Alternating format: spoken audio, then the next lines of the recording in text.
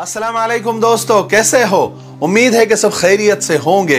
अल्लाह आप लोगों को ऐसे ही खुश रखे। आज और अभी जो मैं बताने जा रहा हूँ, अगर आपने इसको पूरा सुन लिया और अच्छे से समझ लिया और दिलो दिमाग में इसको बिठा लिया और उस पर अमल करना शुरू कर दिया तो मुझे ऐसा फील होता है, ऐसा मुझे लगता है कि हमारे जो घरेलू झगड़े हैं, हमारी जो मियाँ बीवी की लड़ाइयाँ है, वो बहुत हद तक कम और ख़त्म भी हो सकती है। घर घर की कहानी है। मैं आज आपको बताऊँगा कि नेगेटिव सोच और पॉजिटिव सोच, यानी मनफी और मुस्बत सोच और वैसा ही माहौल हमारे घर में कैसे क्रिएट होता है, कैसे बनता है, मैं आपको सिचुएशन बताता हूँ घर की। ये हर घर में रोज़ाना ऐसे वाकयात होते रहते हैं। मैं सिर्फ़ एग्ज़ाम्पल दे रहा हूँ। मियाँ घर में बैठे, किसी कमरे में बैठे अखबार पढ़ रहे हैं और बच्चे सामने खेल रहे हैं और बेगम फर्श पर पोछा लगा रही है। अचानक किचन में से दूध जलने की बू आती है तो बेगम जल्दी से उठकर किचन की तरफ़ भागती है। उसी वक्त में मेन गेट पर, यानी डोर पर कोई बेल बजाता है तो मियाँ उठकर जल्दी में मेन डोर की तरफ़ जाने लगते हैं तो जल्दी जल्दी और गड़बड़ में जाने की वजह से पोछे वाली बाल्टी नज़र नहीं आती और उससे टकरा जाते हैं और गिर जाते हैं, या थोड़ी बहुत चोट उनको आ जाती है। ये हो गई सिचुएशन अब हर घर में ऐसी सिचुएशन या इस तरह की सिचुएशन पैदा होती रहती है. अब इस पर दो तरह के माहौल बनते हैं. एक नेगेटिव और एक पॉजिटिव यानी एक मनफी और एक मुस्बत. मुस्बत और पॉजिटिव सिचुएशन कैसी बनती है? कि बेगम आके पूछती है मियाँ को, अरे अरे आपको चोट तो नहीं लगी? मुझे माफ़ कर देना असल में वो दूध जल रहा था। मैं जल्दी जल्दी में किचन में भाग गई। बाल्टी उठाना मैं भूल गई। मुझे माफ़ करना। और मियाँ कहते हैं यानी शोहर कहते हैं, अरे नहीं नहीं नहीं, तुम्हारी गलती नहीं है। दरअसल मैं ही जल्दी जल्दी में भागा और नीचे देखा, मेरा काम है ना नीचे देखना। मैंने नीचे देखा नहीं और मैं टकरा गया, मैं गिर गया, मेरी ही गलती है, आपकी कोई गलती नहीं है। यह है मुस्बत और पॉजिटिव माहौल। और मनफी और नेगेटिव शोहर मिया चीख पड़ते हैं। अरे ओ अकल की दुश्मन, ये बाल्टी रखने की जगह है? तुम्हें अकल है कि नहीं? माँ बाप ने कुछ सिखाया है कि नहीं? उधर से बेगम भी चीख कर कहती है, ओ अंधों के बादशाह, जब उधर जा रहे थे, आँखें दी है ना अल्लाह ने? बड़ी बड़ी देख सकते थे ना कि बाल्टी रखी हुई है, मैं क्या क्या करूँ? किचन संभालू, बच्चे संभालू, घर का पोछा करूँ, शादी करके लाए हैं तो बीवी लाए हैं या नौकरानी लाए हैं? समझ में नहीं आता और झगड़ा शुरू हो जाता है।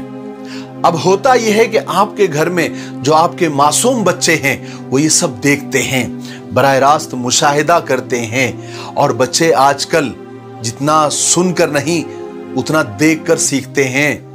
वीडियो का जमाना जो है वो जमाने लद गए। जब बच्चे लेक्चर सुनकर, बयान, तकरीरें सुनकर उनकी तरबियत होती थी। आजकल बच्चे वीडियो देखकर, बल्कि देखकर ही सीखते हैं।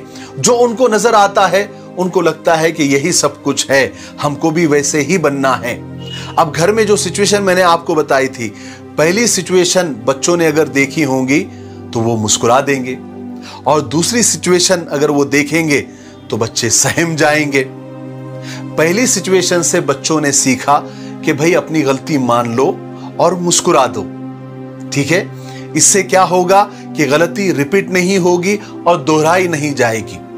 और दूसरी सिचुएशन से और दूसरी हालत से बच्चे ये सीखेंगे कि भाई भूल कर भी गलती मत करो, वरना पीटे जाएँगे, कूटे जाएँगे और घर में अंगार लग जाएँगी और बड़े से बड़े झगड़े हो जाएँगे। ऐसे छोटे बड़े वाकयात हमारे घरों में रोज़ाना होते रहते हैं। अब हम पर डिपेंड करता है कि हम उन्हें मुस्बत तरीके से, यानी पॉजिटिव तरीके से और पॉजिटिव सोच के साथ उसको हल करें तो घर में अमन सुकून होगा। और अगर हमने उसको नेगेटिव और मनफी तरीके से उसको हल करने की कोशिश की तो घर में झगड़ा हो जाएगा। घर में जो है आग लग जाएगी। और बच्चों की भी गलत तरबियत होगी और अड़ोस पड़ोस में आपकी बदनामी होगी। तो हमारे घर के अंदर हम अमन व सुकून और झगड़ों के खालिक, यानी उसको पैदा करने वाले हम खुद ही हैं। अपनी गलती को मान लेना और दूसरों की गलतियों से दरगुजर कर देना, उनको बख्श देना, ये दोनों ही मुस्बत और पॉजिटिव रवैये एक मोमिन की सिफत है।